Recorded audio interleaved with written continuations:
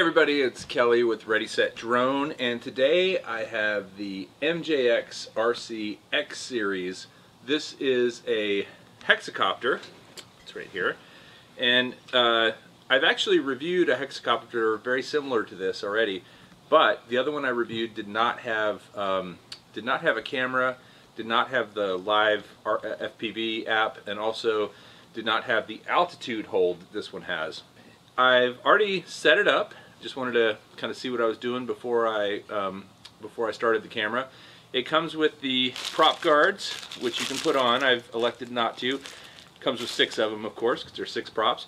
It comes with this landing gear, which actually just pops into place here.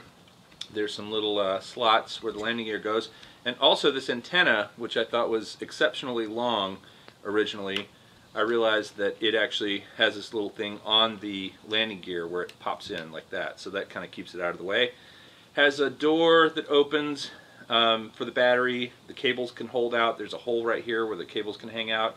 This is the uh, balancing cable. This is the uh, actual power cable. And then here's the camera. The camera is not, or is, is not adjustable. So the height, it seems like it's pretty much set. I'm trying to move it, but it's not moving at all. But um, that's okay. It's kind of at what looks like about a, a good angle for this kind of flight. It's got four blue LEDs on the front and two reds in the back, so you can do that for orientation. And uh, these landing gear do pop in and out pretty easily, so you know get them in there nice and tight if you can. So it comes with a 7.4 volt, 700 milliamp hour battery, which is a decent sized battery. Uh, it takes about three hours to charge and probably gives you about eight minutes worth of flight time. Um, you, if you want to use the camera, you need to download the app, and if you're going to the uh, iOS App Store, you just search for MJXH, and that's where you get the app. It was very easy to find. Um, part of it's in Chinese, but not, not an issue. It's pretty intuitive. And then if you're um, looking for Android, um, you just visit www.mjxrc.com and download the MJXH application. Now the app allows you to do two things. It allows you to have FPV view. It also allows you to fly with a phone, but I don't recommend flying with a phone because it is uh, over Wi-Fi and there's a lag and it's just really not that great of performance when you try to fly with a phone. So I would just use the app for the um, FPV and recording. Um, there's a little holder here, handy little device that holds the uh, holds the thing on, as you can see here. And I hadn't really figured out exactly how this goes on, but I think the way it works is it goes on this antenna here. You can see it just slips on like this. And then there's a spring in here that holds the actual uh, phone. So what I'm going to do, I'm going to go ahead and turn on, turn on my remote. And I'm going to turn on the quad. And I don't think you have to do anything to bind it. I think it just binds after a few seconds. It's blinking fast right now. It stopped, so I'm pretty sure it's um, it's bound. Now, if you see this red button here, this is how you start and stop your props. Actually, you start it with that. You just pull the throttle stick down to stop the props. All right, so what you've got to do to uh, do the app is you've got to go to the Wi-Fi and there will be a Wi-Fi for MJXH 96D2 is what it says. So I just hit that. So I'm on the Wi-Fi with this thing now. I'm going to go ahead and close that out, and I'm going to go ahead and open up the um, open up the app, which is called the MJXH. So I've just opened up the app, and you can see I've got a live view of the camera. Now you can also see that it's upside down. So I'm going to have to flip this over. Hold on a second.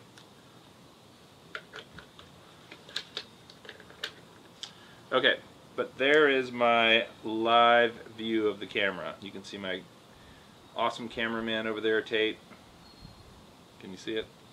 Uh, and you can see the live view.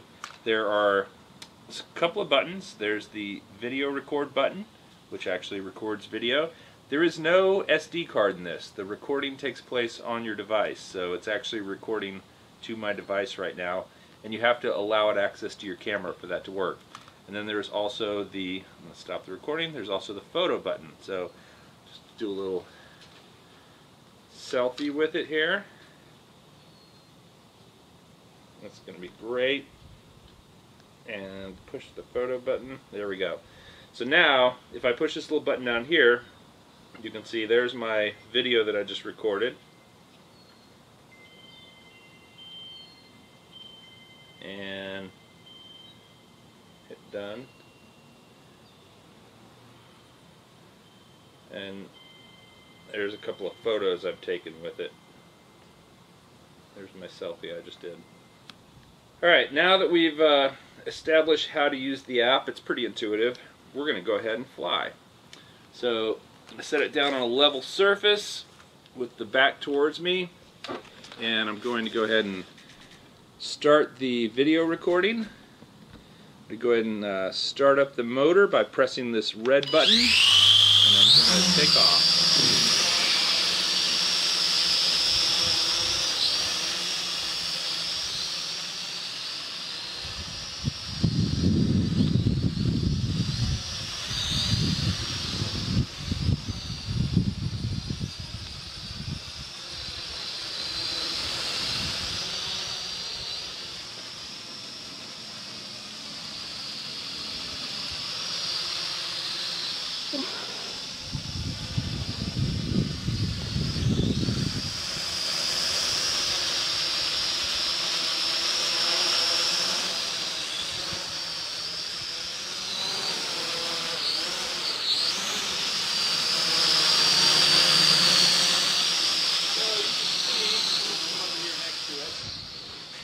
Actually, bring it over here. So you can see a couple things. Number one, uh, go ahead and get a shot of the drone. When you push the uh, upper left button, there's two buttons on the top left and the top right. The upper left button next to the start button uh, turns the lights on and off. So probably leave the lights on, skip the orientation. And then the um, the upper right button here, this one up here, changes your flight mode. So that's more advanced. You can see it has more of an angle. And that's uh, less advanced. There's basically two flight modes. There's easy, which is here, which uh, with wind is not that great, and then there's more advanced, which is there. You can see how much it. Are you recording off the app?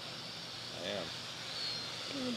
Now, um, couple of things. This thing is very smooth uh, with the six with the six um, with the six different uh, propellers. It really flies smooth.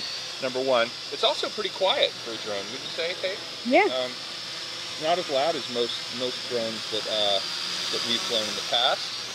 Um, and then one of the coolest features is take it up a little higher so it can see us. The altitude hold. Now I'm not going to touch any. Uh, I'm not going to touch any throttle settings, and it's just holding its own altitude. Now the wind, of, course, of course is going to blow it because it uh, doesn't have GPS, so it's not going to hold in position. I'm going to drop it down a little bit, right here. But it is holding its own altitude based on uh, a barometer that's built into it.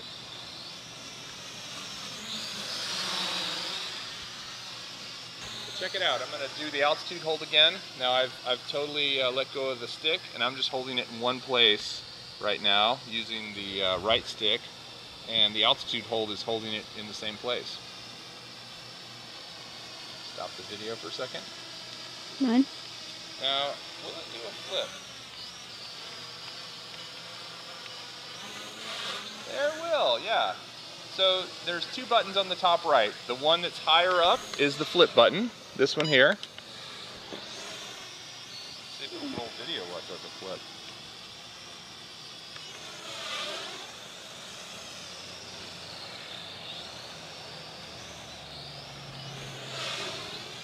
And the other one is the one that changes the rate. Oops. And we lost part of the landing gear. So let's bring it over here. hold it.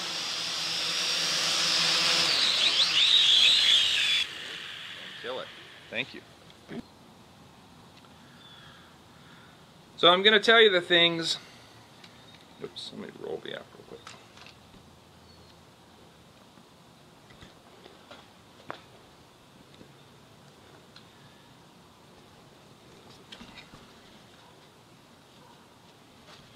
All right, so right now I am uh, recording this video using both cameras. Uh, I'm going to tell you the things I like about the MJX RC hexcopter. Number one, uh, it's super quiet. It's very smooth, flies really well. Um, it it has a good high and low range, and it also has the ability to flip, which is pretty cool. Uh, the app is pretty decent. I mean, it actually records um, not great video, but it the Wi-Fi connection is pretty solid, and so it's got that going for it, which I really like. And it also has the ability to um, do still photos and video from your app over a Wi-Fi system. Now, the things I'm not a big fan of, um, first of all, the props or the the landing gear falls off pretty easily. We just had that happen to us while we were flying. Um, and second of all, you have to use a screwdriver to open up the the um, battery door, which I'm never a fan of having to use a screwdriver to open the battery door. As a matter of fact, I've already lost the screw. It's just hanging on there by by being closed. So please, guys, when you develop a new drone, don't use a screwdriver to open the battery door. It just doesn't work for me. Use a snap or something. Um, but overall, I really like this little guy. It's uh, it's very smooth to fly, very easy to fly, nice and quiet and it's pretty responsive, does some cool flips, and I could see this being a lot of fun to take pictures with if you wanted to, or uh, even practice your FPV racing because the lag from the from the app is really not that bad. You could actually fly FPV with this as long as you didn't get too close to anything. So check it out. It is definitely uh, worth a check out and and uh, a see.